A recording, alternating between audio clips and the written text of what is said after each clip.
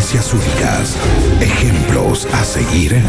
Llega otro capítulo del radioteatro más exitoso de la radiofonografía argentina. Historias de vida. A continuación, ¿en cuál es? Previously, en este radioteatro. Ay, no puedo parar de mirarlo, es increíble. Sí, yo también. Estoy, hipnotizado. Se rió, se rió, me parece a mí o se rió. Sí, sí, era, era una media sonrisa, sin duda. Su primera sonrisa, un aplauso. El primer año de Sandrito. Porque vivimos a 30 cuadras y tardaron 4 horas en venir. En un momento me hinché las bolas de cuidar el asado en la parrilla y el perro se morfó a la mitad. Pidamos empanada.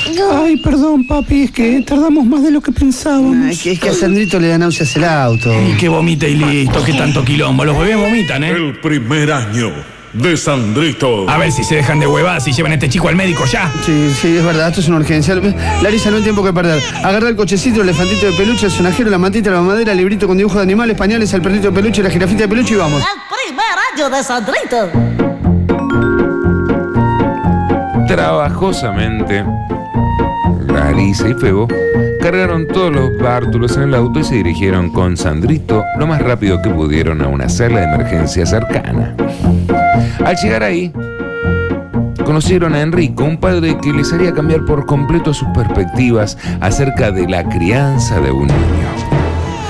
Permiso, permiso, déjenos pasar, es una emergencia. Cuidado, Larisa, cuidado, se te cae el elefantito de peluche. Guarda, Ay, ¿eh? Permiso. ven- vengo perdiendo peluches desde que bajamos del auto, Febo. Mañana compramos más. Vengan acá, tomen asiento que hay lugar mientras esperan que los atiendan. ¿Qué, qué, qué? Esperar, esperar. No, no, no, no, no, no, no, eso no va a pasar porque mi hijo está llorando hace rato. No, no, es, es como si le, doliese el oído, algo así. Ay, necesita atención urgente. Padres primerizos, ¿no? Sí. Yo les aconsejaría calma. Hace tres horas que llegué y todavía no atendieron a nadie. Mi hijo es ese coloradito que delira de fiebre por los pasillos. ¡El fin del mundo se acerca! ¡Busquen su paraguas! ese es el mío. Ah, ¿está, está delirando de fiebre? Bueno, eso me deja más tranquilo. ¿Por? Y porque hace un ratito me apreté una teta. Creí que tal vez era un mini degenerado, pero se ve que no sabe lo que hace. Creo que es hora de que lo atiendan. No, no comprendo, Enrico. ¿Cómo puede ser que estés tan tranquilo entonces? Soy viudo, padre de seis hijos, el mayor de 12 años, el menor de meses. Estoy curado de espanto, ya nada me asusta. Morirse no se va a morir, así que que delire. Seis hijos. Ay, y no se te descontrola todo. Mira yo cómo estoy. Con seis pibes todo se vuelve un caos. De hecho, ya ni me acuerdo si traje a este solo a la clínica o vine con uno más que ni sé dónde está.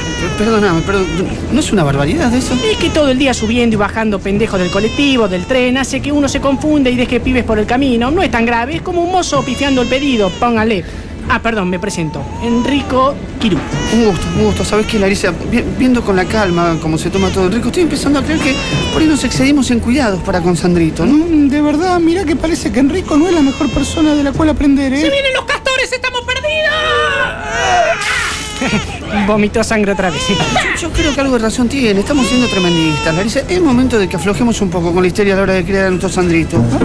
Aquel encuentro sería revelador para Febo y Larisa. Comprendieron que tal vez las cosas podían tomarse con un poco más de calma.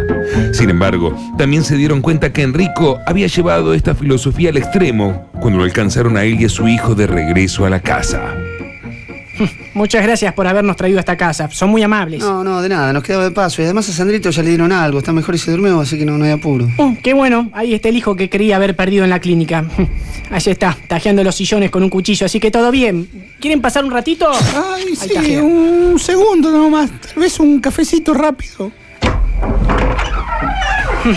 Hogar, dulce hogar. Siéntense donde puedan. Saquen ese nene del sillón y pónganlo en el piso. Total está dormido o desmayado. Lamento decirte esto, Enrico, pero la, la cosa se te desmadró, ¿eh? Contame algo que no sepa. Miren, criar hijos es como tratar de resolver las seis caras del cubo mágico. Por más que tratemos, la mayoría vamos a fracasar y hacerlo para el culo. Así que relax y que salga lo que salga, ¿no? Ay, me parece una táctica pésima, Enrico. Tus hijos viven en un estado de semisalvajismo. Mira ese comiendo carne picada cruda del piso. Ah, sí, es el mayor Félix. O se llama Roberto, va, ni me acuerdo. Pero a veces hace eso, déjalo. No te puedo explicar lo tranquilizador que me resulta todo esto, Larisa. Tranquilizador, estás loco. No, no, simplemente me di cuenta que no hay que hacerse tanta mala sangre con la crianza de Sandrito. Solo hay que relajarse, bueno, y que la María no lleve. Y, y el nene va a crecer fuerte y sano como todos los hijos de Enrico. Exacto. Febo estaba fascinado con su descubrimiento y deseaba implementar nuevas estrategias de crianza cuanto antes. Y el lugar elegido para comunicarle la novedad a los abuelos Sandrito fue cierto domingo en que la familia se reunió para festejar uno de los numerosos aniversarios del bebé. que lo cumpla feliz. Vamos, Sandrito. Sandrito. Papi, mami, ¿por qué no le cantaron a Sandrito, eh? Porque supuestamente se cumple un mes de la, primera, de la primera vez que el borrego tomó la teta. Están acabados como padres, chicos. No me pidan que me suba a todos los bondi, por Dios. Tu papá tiene razón, Larisa, es algo que venimos haciendo desde hace mucho tiempo. Hay que cambiar antes que sea muy tarde y malcriemos a Sandrito. Sí, lo sé, lo sé, pero es que es tan complicado.